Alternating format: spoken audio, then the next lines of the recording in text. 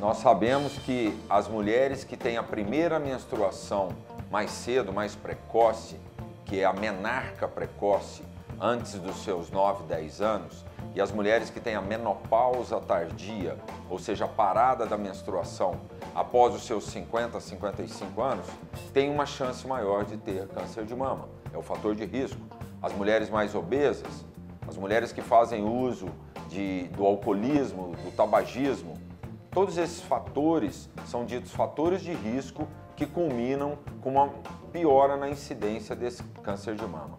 O homem tem câncer de mama, o homem pode ter várias complicações. A incidência de câncer de mama em homem é cerca de um homem para cada 100 mulheres. A diferença básica do homem para a mulher é que como o homem não tem a glândula mamária tão desenvolvida como a mulher, qualquer alteração que, que ocorra, ele já vai palpar. O autoexame teve uma importância absurda. Só se falava em autoexame. Nós continuamos falando em autoexame. O autoexame é importante, mas nós sabemos que a mamografia, a mamografia anual após os 40 anos, essa sim é o grande trunfo no rastreamento do câncer de mama. Temos também o ultrassom, a ressonância magnética de mamas, mas a mamografia é o principal exame.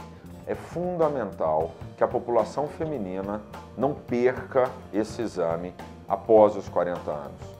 Há variedades de tipos de câncer de mama. Nós temos o tipo ductal infiltrante, que é o principal deles, cerca de 85% dos casos.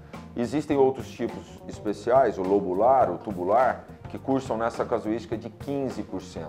E nós temos o tipo inicial, o tipo intraducto, que é o carcinoma in situ, que pode ser ductal na maioria das vezes, e o lobular in situ, hoje nós definimos como uma lesão pré-câncer. Na verdade, seria mais um fator de risco para desenvolver o câncer.